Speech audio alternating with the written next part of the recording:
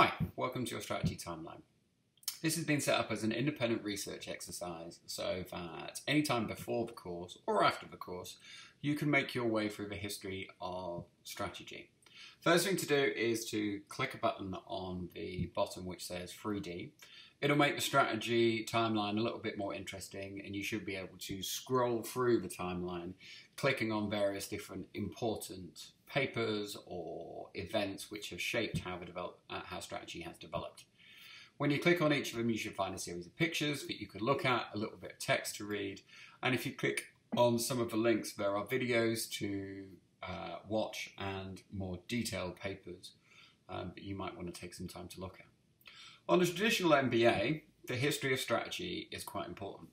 Essentially, strategy has always been a contested form. There are different ways in which people believe organizations should prepare themselves for the, uh, for the market.